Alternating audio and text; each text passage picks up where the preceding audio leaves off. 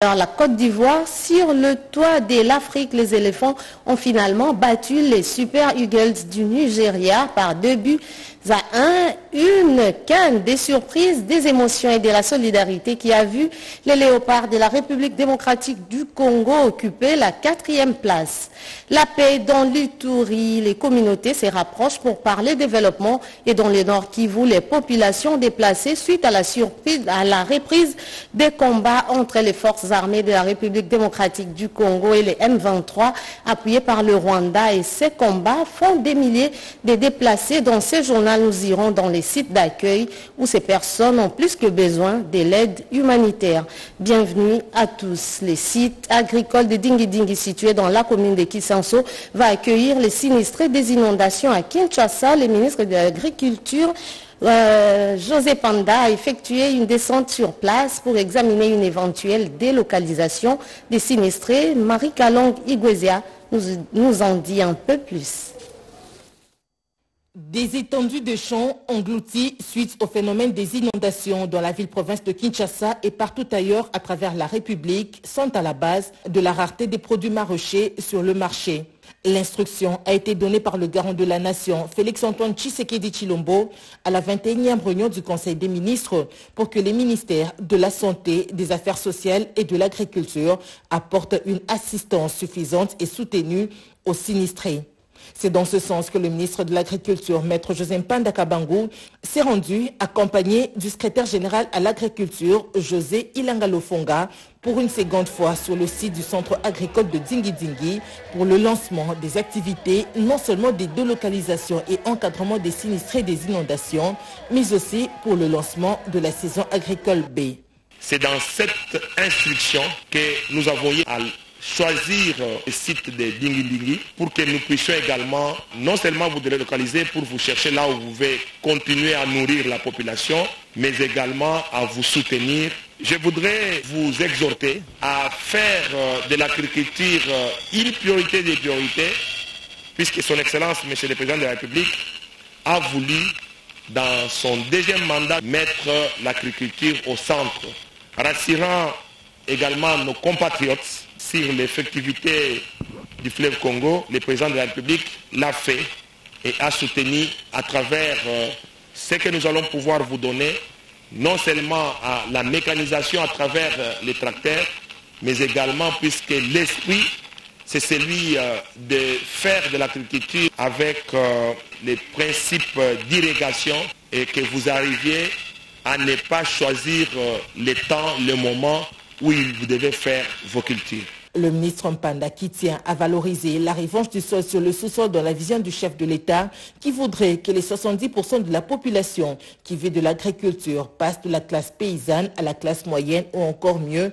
à la classe des millionnaires s'est rendu sur ce site agricole avec un tracteur, motif de satisfaction pour ces agriculteurs.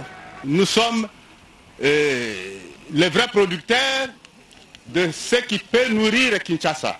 Et cette occasion nous donne alors euh, cette chance de venir produire pendant que nous sommes inondés. Et dès que les inondations vont se retirer de nos sites, nous allons rentrer et y produire grandement. La directrice du centre agricole de Dingi Dingi s'est exprimée en ces termes. Face aux besoins des majeurs agricoles de notre territoire national, L'exemple de la Chine qui compte actuellement 500 000 centres agricoles ayant presque la même superficie des terres arables que la RDC doit nous interpeller. Le patron de l'agriculture a également annoncé la construction dans les 24 communes de Kinshasa des marchés agricoles au standard international pour pouvoir conserver les produits des maraîchers qui du reste sont périssables. Le tout premier, celui de la commune de la Gombe, sera bientôt inauguré, a-t-il précisé. En bon gestionnaire des affaires de l'État, le ministre de l'Agriculture a, avant de regagner son cabinet de travail, visité les dépôts de stockage de différents outils tels que motos ou bêches et autres, mais aussi des intrants agricoles. Il a donné des instructions fermes quant à ceux. L'Itourie d'hier n'est plus d'aujourd'hui. Les populations qui forment cette population, cette province riche en ressources naturelles, sont appelées à une cohabitation harmonieuse. L'état des sièges instauré par le président de la République, Félix Antoine Tshisekedi Chilombo, a réduit de proportions marginales l'insécurité. des communautés des Djougou ont donné l'exemple de cette unité. suivie. La libre circulation de personnes et de leurs biens, la cohabitation pacifique et la cohésion entre les communautés Lindou et Emma. Deux ici fluctués soldés de pourparlers obtenus ce mercredi 9 février 2024 au groupe Magali, à la limite entre les secteurs de Mujati et de Baïgiri, entre les groupes et autodéfense sous l'initiative de leaders communautaires et la médiation du gouvernement provincial de l'Itourie ainsi que de la MONUSCO. Cette rencontre constitue un indicateur de plus pour la paix, démontré par le ferme engagement de ce jeune à fédérer leurs idéaux et à cesser avec les hostilités. Nous étions venus ici pour discuter avec la communauté Lende afin de rétablir un climat de paix entre nos deux communautés et afin qu'il n'ait plus circulation d'armes. Et c'est lui qui va s'entêter que le gouvernement s'occupe de lui. Décision la libre circulation des personnes et de leurs biens, que ce soit pour les Lendu ou Emma. C'est le compromis ici de cette rencontre.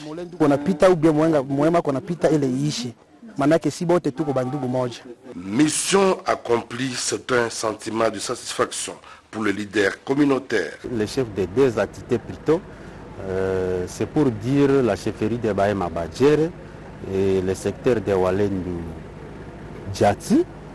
On a aussi un programme pour euh, aller se rencontrer quelque part pour discuter autour des problèmes de paix. Et effectivement, nous l'avons fait aujourd'hui où nous sommes rencontrés avec euh, toutes les couches possibles et même la jeunesse. Pour le gouvernement provincial et la MONUSCO, ceux-ci promettent d'accompagner ces différentes communautés jusqu'à atteindre l'état final recherché. La paix, cheval de bataille du gouverneur militaire, le lieutenant général Luboyanka Juni, depuis l'instauration de l'état de siège jusqu'à ce jour, L'unité en Ituri passe par la préservation des acquis dans tous les domaines. D'autres détails dans ces commentaires. La pacification de l'Ituri entre désormais dans sa phase décisive en territoire de Djougou, membres de groupes armés et communautés locales décident de filmer le calumet de la paix. C'est le résultat de l'approche non militaire imprimée par le lieutenant général Luboyanka Johnny pour la toute première fois, ses ennemis d'hier se sont retrouvés ce samedi 10 février 2024 à Tchéli dans une rencontre de sensibilisation et de cohabitation pacifique. Le communauté Lendou, Emma, Ndokebo et Banyali ainsi que le groupe armés autodéfense et IRDPC, Kodeko, Aksembaou et Pimbo ont répondu présents à ces rendez-vous de paix. Un motif de joie pour l'initiateur de cette rencontre, le chef du secteur de Walendou Djati, Justin Goudza. Vraiment, nous devons être en harmonie pour la sensibilisation, le renforcement, la transformation. Pour ça, nous devons être leaders transformationnels. Pour la population locale, cette rencontre est une lueur d'espoir pour la fin de la violence armée en Itourie. Occasion représentants de ces groupes armés d'interpeller la conscience collective de certains d'entre eux à revenir à la raison. Nous voulons la paix car la paix est très importante et nous respectons l'acte d'engagement de Nairobi et Aro. Parlant au nom de l'administration militaire du Litourie, le colonel Jeff insiste sur le caractère patriotique devant caractériser tout et chacun. Lentement et sirément, la violence armée laisse place à la reconstruction et le développement de la province de l'Itourie. La crainte dans le Nord qui vouait d'assister à une catastrophe humanitaire à cause de la reprise des combats entre les forces armées de la République démocratique du Congo et les M23, soutenues par le Rwanda, le gouvernement des lois ainsi que certaines organisations non gouvernementales pour apporter de l'aide humanitaire parle dans ces reportages. Les blessés de guerre internés au centre hospitalier Sebekandosho viennent de bénéficier de l'assistance ce lundi 12 février 2024 dont le vice-premier ministre de la Défense a été remis par l'envoyé du gouverneur militaire du Nord Kivu, sa conseillère principale en charge de la santé, maître Prisloinda Kamala. Il faut dire que les bénéficiaires sont les victimes de balles du mercredi 7 février dernier. La prise en charge étant rassurée par cet hôpital, avec l'appui de ses partenaires, chaque blessé a reçu au moins un moyen pouvant aider sa famille pour d'autres besoins. la guerre a que nous avons vu beaucoup de gens se déplacer et ce sont les blessés là par balle, les victimes qu'il était venu voir et aujourd'hui, nous sommes venus concrétiser ce qu'il avait laissé comme assistance auprès euh, de ces blessés de guerre. C'était quelque chose pour euh, les aider à se nourrir. Écoutons tour à tour quelques malades. Juu tulikuwa tushozee kitu meme tuleteaka msaada mhospitali. Wale msaada mmetuletea juu italichunga ule mtoto hapa kwenye analala, ndakuwa namwambia mkate na mwambia manake vya vyote wenyewe atastahili. Bali nawapigia asante kwa msaada ambao wameniletea na Mungu awazidishie nguvu. Retenons que c'était plus de 60 compatriotes qui viennent de bénéficier de cette assistance. Paix et développement, deux concepts au cœur des échanges entre les notables de la communauté Bahavu dans la province du Sud Kivu. Anastasie Doumbou nous fait le compte rendu. L'émergence des Bahavou associée à la sécurité dans l'Est ont constitué les sujets phares de la rencontre entre les notables de la tribu Bahavou autour du leur chef Jean-Marie Bamporiki Manegabe. En plus de cette question, une autre qui n'est pas des moindres a été proposée à l'échange, à savoir la coexistence pacifique avec d'autres communautés tribales et la promotion des conditions optimales pour un développement socio-économique harmonieux dans un contexte de paix, de sécurité et de stabilité de la province. La Moura prône les valeurs d'excellence, d'intégrité, d'honnêteté. La Moura n'est pas tribaliste. Nous, on ne prône pas le tribalisme. C'est vrai qu'il y en a qui ne, qui ne respectent pas ces valeurs. Ce sont ces valeurs-là que nous, nous voulons mettre en avant. Le Congo, c'est un. On ne doit pas voir le Congo autrement que comme une tribu. Notre tribu à tous, c'est le Congo. La cérémonie a été mise à profit pour présenter et exprimer des félicitations à ceux d'entre les membres de la tribu Bahavu qui ont été élus lors des récentes élections législatives provinciales et locales. Retour à Kinshasa avec les effets néfastes du changement climatique. Une grande partie de la ville de Kinshasa se retrouve un cas de plus sous les eaux. Pour faire face à cette situation, l'exécutif provincial a lancé plusieurs travaux de construction des digues et de modernisation de certaines artères, nous dit Willy Atunakov. Déterminés visiblement à lutter contre les inondations récurrentes dont sont souvent victimes les habitants de certains quartiers marécageux et non urbanisés de la capitale, après avoir lancé le samedi dernier le travaux de construction d'un grand collecteur au camp Lufungula, le gouverneur manager de la ville de Kinshasa, Jean-Tilingo Bilambaka, a donné le coup d'envoi vendredi 9 février 2024 au quartier Ndanou à Kingabwa dans la commune de d'une série de travaux de grande envergure au regard de leur impact social sur le vécu quotidien de la population bénéficiaire. Il s'agit d'abord de la construction par l'entreprise Aaron Sefou et Sarel de deux digues le long de deux rives de la rivière Njili du côté de Massina et du côté Limete.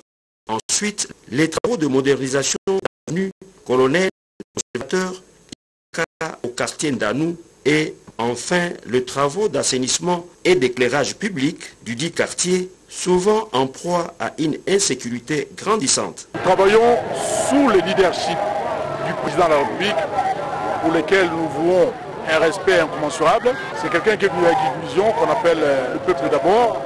Et nous, pour matérialiser cette vision, nous avons construit des avenues qui n'existaient pas ici à Kinshasa, telles que les avenues Elengesa, les avenues euh, Ngiringiri, les avenues Kikwit, les avenues Montbelé, les avenues euh, Landou, et sans compter aussi la réhabilitation de l'école public, euh, de certains parcs aussi, des ponts comme euh, Landou et, autres. Et pour finir, on a construit le grand marché, un nouveau marché. Les patrons de la capitale a par ailleurs instruit les commandants de la police Souciat d'Endanou de repérer et identifier tous les bandits urbains communément appelés Kuluna qui troublent la quiétude de la population de ces quartiers et de les traquer et les mettre hors d'état de nuit.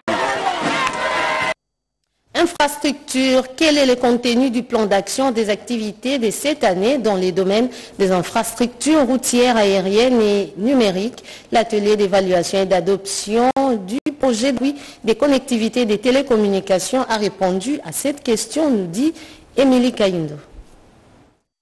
Le projet d'appui à la connectivité et au transport pacte est un projet du gouvernement de la République démocratique du Congo préparé est mise en œuvre avec l'appui de la Banque mondiale, financé à hauteur de 500 millions de dollars.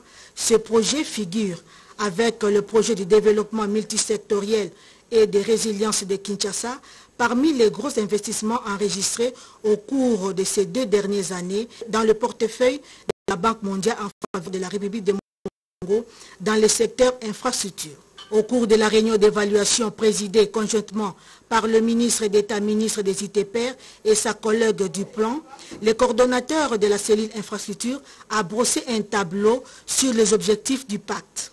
Le pacte vise à établir la connexion terrestre et numérique entre le centre et l'est du pays. Dans sa première phase, le projet intervient dans trois secteurs, routier, aérien et numérique, au-delà des investissements dans la construction des infrastructures. Les projets visent à améliorer la transparence et la gouvernance dans le secteur des transports et des télécommunications. Cette première réunion du comité de pilotage euh, du pacte d'un projet d'appui à la connectivité et au transport a principalement porté sur l'examen et l'approbation du plan de travail et budget annuel exercice 2024 du projet. Les investissements du projet vont contribuer significativement à renforcer la cohésion nationale, réduire les potentiels de conflits et d'exclusion et relier les personnes et les communautés riveraines, faciliter les transports des produits ruraux et améliorer l'accès des populations aux services sociaux des bases. L'amélioration des conditions de travail au sein de l'Office de route, credo porté par la partie employeur et syndicale, les deux parties se retrouvent en réunion paritaire pour examiner de nouvelles pistes en vue d'améliorer les conditions du personnel. Joël Makiela et Junior Bonyoma pour les comptes rendus. Le pacte social ne sera jamais rompu à l'Office de route. Bien au contraire, il s'est solidifié avec l'actuel comité de gestion. Cette réunion paritaire entre l'employeur et le bon syndical de l'office de route est ce cadre par excellence de dialogue social qui a permis aux deux parties d'examiner en profondeur le cahier de charge du bon syndical. Des assises lancées par le directeur général de l'office de route, Janoki Kangalangoy, qui dans son adresse a réitéré son engagement pour l'amélioration des conditions sociales du personnel. L'office de route, au regard de ces tableaux qui concerne le quotidien et l'avenir de son personnel, rencontre plusieurs difficultés liées à la précarité de sa trésorerie, au point qu'à ce jour, nous procédons à plusieurs rafistolages pour parvenir à résoudre tous ces problèmes. Ce qui fait que tout au long de ces discussions, nous allons solliciter votre intelligence afin qu'il se dégage une compréhension mutuelle de nature à nous permettre de bien identifier les problèmes et d'envisager ensemble des solutions idoines pour le quotidien et l'avenir de notre personnel. Des préoccupations ont été soulevées concernant la précarité du personnel due au vieillissement le manque de formation continue ainsi que les procédures de recrutement non respectées. Le président de la délégation syndicale, quant à lui, a exhorté ses camarades syndicalistes à assumer leurs responsabilités en veillant au respect des textes réglementaires. Les participants ont cinq jours, soit du 12 au 16 février 2024, pour répondre aux attentes exprimées. Tête d'érosion qui progresse au quotidien dans les grandes villes et cités du Kassai oriental, certains travaux des luttes anti-érosifs sont à l'arrêt. C'est constat fait dans ces reportages. Démarrés en 2022, ces travaux exécutés par l'entreprise chinoise CGCD ont évolué à un rythme satisfaisant, suscitant un grand espoir aussi bien chez les usagers de cette route que chez les riverains. Une joie qui n'aura duré malheureusement que l'espace d'un matin, car depuis août 2023, les chantiers n'est plus opérationnel, faute de financement. Il a tout juste suffi à l'entreprise de remblayer une partie de l'érosion, de construire une passerelle, quelques caniveaux et un collecteur pour une canalisation partielle des eaux. Par manque de canalisation des eaux en provenance notamment de Moulambo-Ampoï, cette érosion a dangereusement progressé, engloutissant tout sur sa trajectoire. Parcelles, maisons, églises, boutiques ne résistent pas à cette érosion en furie. Le président de la République doit veiller sur ce ravin. Nous n'avons nulle part où aller. Nous sommes vraiment à bout. Dans ce ravin, des malfaiteurs s'attaquent aux passants, surtout aux jeunes filles, qu'on nous arrange des grâces cet endroit. Des petits-enfants finissent au fond de cette érosion. Il en est de même pour les femmes. Récemment, une femme a trouvé la mort après être tombée dans cette érosion. Même si les ouvrages sont restés intacts après le dernier pluie tombée sur la ville, les risques ne sont pas totalement écartés. La population s'est sentie livrée à elle-même après cet arrêt inattendu des travaux. Conséquence, elle a commencé à démolir les ouvrages construits par les Chinois. La lutte contre la crise alimentaire dans le Lualaba, précisément dans les secteurs de l'Uilou, est portée par Betty Kiando Katoki, le village Lengue et les premiers bénéficiaires de ces projets. Diversification de l'économie et l'insuffisance alimentaire à travers le pays figurent parmi les articulations de la vision du chef de l'État, Félix Antoine Tshisekedi Chulombo. Le second axe intéresse tous les Congolais et particulièrement Madame Betty Kiando. Sous l'impulsion du président de la République, le sol doit prendre le dessus sur le sous-sol. La chef des secteurs de l'Uilou dans la province du Lualaba s'est mise à l'œuvre pour s'approprier cette vision sous l'encadrement de la gouverneure AI, Fifi Masuka Saini. Sur terrain, Betty Kiando et son équipe ont cultivé un champ de 200 hectares avec ses projets de société. Le cadre territorial prouve par la pratique qu'en bon élève des fatigues, il faut prêcher les champs, tous les habitants du village Lengue dans ces et c'est des environs apprécieront à juste titre l'implication active de Betty Kiando dans cette lutte amorcée par le président Tshisekedi contre l'insécurité alimentaire. Comme si cela ne suffisait pas, Betty Kiando et son équipe entreprennent depuis le week-end dernier un autre champ en dessouchage en vue de couvrir tous les besoins de la population en produits agricoles. L'ingénieur Pompidou Kalé ces travaux sont confiés sur terrain a fait voir que ces engins sont à pied d'œuvre. Très déterminée, la chef de secteur de l'Uilou a mis les moyens nécessaires pour redynamiser l'agriculture, non seulement dans l'entité dont elle a les leaderships, mais aussi sur une bonne partie de cette province de Fifi Masuka Saini. En ces débits du deuxième mandat, Félix Tshisekedi compte sur de tels patriotes, n'éditons pas, seul ne peut rien, mais avec l'appui de Betty Kiando et d'autres compatriotes, Félix Tshisekedi ira toujours de victoire en victoire. Augustin Kabouya, nommé en formateur par le chef de l'État, la nouvelle a été accueillie avec joie par plusieurs couches sociales. Le ministre provincial de l'Intérieur de la Chopo s'est exprimé à ce sujet. Suivez. Le Parlement debout Super Lemba remercie infiniment son Excellence, mais c'est le président de la République, Félix Antoine Tshisekedi, Chilombo, chef de l'État, pour l'honneur procuré à l'UDPS en désignant un des combattants ayant fait réellement parcours valeureux au sein des structures du parti, de la base à l'exécutif national comme informateur. Il sied cependant de féliciter les concernés, nous citons l'honorable secrétaire général Augustin Kabouya, un fédérateur patenté, l'organisateur du parti, les vecteurs légitimes qui relaient les attentes de la base aux animateurs des institutions publiques et fils idéologique du de l'imité, le docteur Étienne Tshisekedi, de sublime mémoire.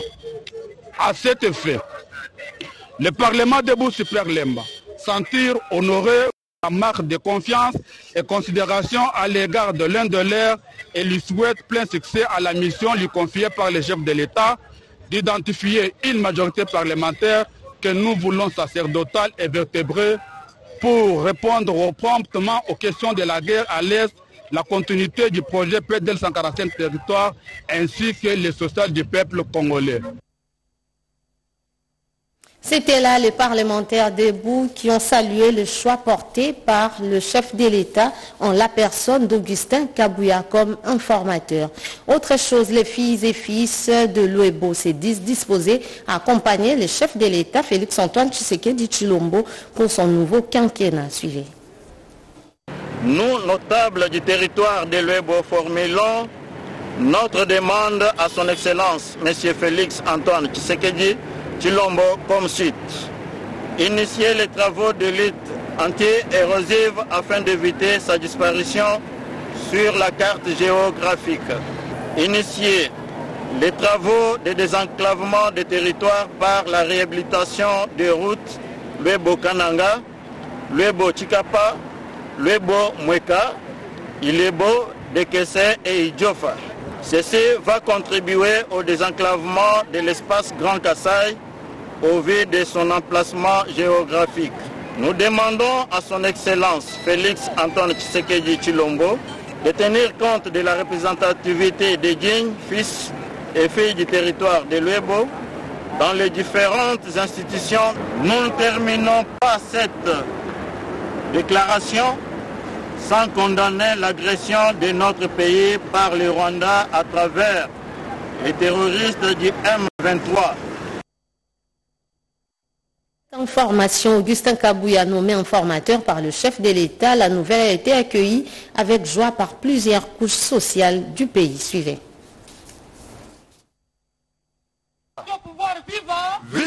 Le choix porté sur M. Augustin Kabouya par le chef de l'État est au cœur de préoccupations des combattants de l'UDPS en province de la Chopo. Il suscite un sentiment de joie auprès de nombreux cadres de ces partis. Parmi eux, Jean-Norbert Lokulalo Lissambo. Ce dernier qualifie la nomination de M. Augustin Kabouya en qualité de formateur comme un choix bien mûri par le chef de l'État, Félix Antoine Tshisekedi Chilombo. Nous avions accueilli avec beaucoup de joie parce que cette nomination n'est pas faite d'une manière hasardeuse. Le chef de l'État a beaucoup mûri pour faire ses choix et porter son dévolu auprès du secrétaire général Augustin Kabouya, qui est le secrétaire général du parti au pouvoir. C'est suite à sa sagacité, à sa perspicacité, à sa compétence de conduire les partis avec son leadership.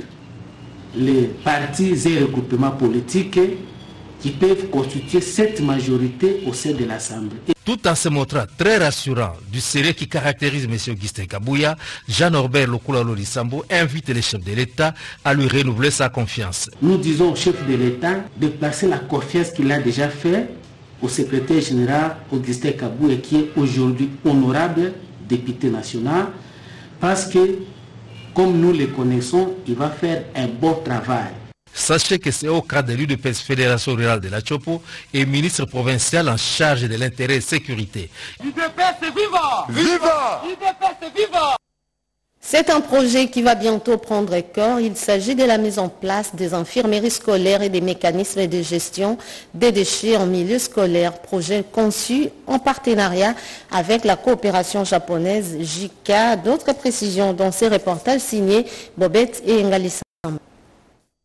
À l'Assemblée générale de ce samedi 10 février, les quatre projets proposés par le comité de la CIGICA dirigé par Louis-André Kombadjeko ont été approuvés par les anciens stagiaires congolais euh, du Japon présents. Projet relatif à l'installation d'une infirmerie dans une école, à la gestion des déchets en milieu scolaire, à l'organisation d'un symposium de la culture japonaise et au rebroisement pour la lutte contre le réchauffement climatique. Ce que la JICA attend, c'est vraiment une euh, appropriation, une, un, investissement individuel et bien sûr euh, la cotisation qui va nous aider quand même à réaliser certains projets.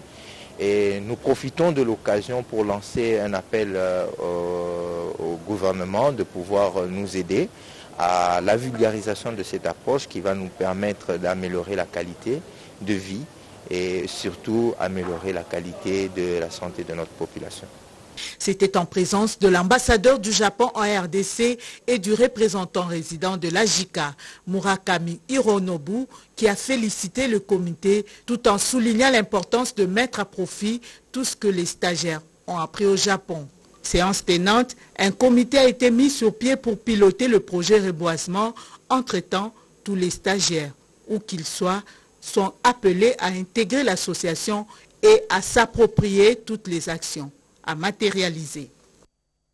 Émettre moins de gaz à effet de serre, c'est œuvrer à la protection de l'environnement. C'est l'objectif de cette sensibilisation que je vous invite à découvrir. Face à la concurrence déloyale et à l'attribution des marchés aux expatriés, les professionnels du froid profitent des stratégies afin d'être plus compétitifs. Pour ce faire, ils se sont retrouvés à la salle polyvalente de l'Institut national des préparations professionnelles pour réfléchir sur l'avenir de leur métier.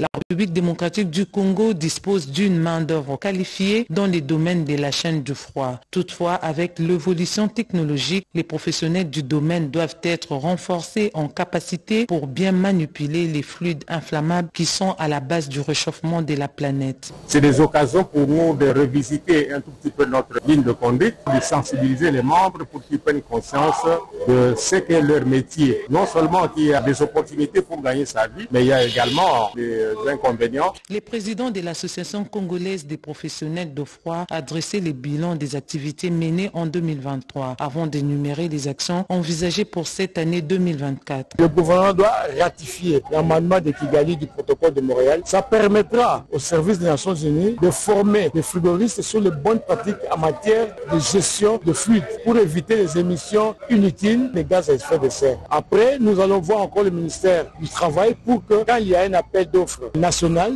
dans les mains du froid qui tiennent compte des frigoristes. Une tombola de circonstances a été organisée. Tous les participants ont à cette occasion reçu chacun les prix mis en jeu par les partenaires de la COPROF. Religion, le voix des fidèles catholiques des bassins Koussou dans la province de l'Équateur s'élève pour intercéder au profit de la nation. C'était au cours d'une messe dite par l'évêque des bassins Koussou. Retour sur cette cérémonie religieuse en images et commentaires. Le sixième dimanche du temps ordinaire de la nouvelle année a coïncidé avec la 32e journée mondiale du malade. Monseigneur Libert Mpongo Bopé, évêque du diocèse de Bassan-Koussou dans les Grands Équateurs, a mis à profit cette occasion pour prier aussi en faveur de la nation congolaise, les malades et les fidèles de sa paroisse d'origine, en particulier la paroisse Saint-Gabriel de Yolo à Kinshasa, à travers l'évangile de Saint-Marc, premier chapitre, versets 40 à 45. Le curé de la paroisse, l'abbé Bruno Kaba a, au nom de sa communauté, remercié Monseigneur pour sa disponibilité. Le pasteur de l'église, Libert Bopé, a livré la lecture de cette activité socio-religieuse, mieux encore spirituelle. Je reviens à la maison, je suis fils de la maison, et il est bon de, de célébrer les merveilles du Seigneur en famille. Je suis de cette famille. Euh, j'ai grandi ici, j'ai été encadré ici. Et donc il est tout à fait normal qu'avec euh, ce qui est arrivé, euh, pas seulement à moi, hein, mais ce qui arrive à l'Église, la mission que l'Église me confie, c'est une euh, joie pour cette famille. Donc je suis venu rendre grâce au Seigneur avec cette famille qui m'a porté et accompagné pendant toute ma formation, même quand je suis devenu prêtre. Plusieurs cadeaux et encouragements à l'endroit de leur fils, devenu évêque, ont été offerts par les fidèles de cette paroisse. L'hôte de la célébration n'a eu qu'une seule expression, merci de tout cœur. Fin de ces journaux, Madame, Messieurs, merci à vous de l'avoir suivi. Le prochain rendez-vous avec l'actualité, c'est tout à l'heure à 20h. Au revoir.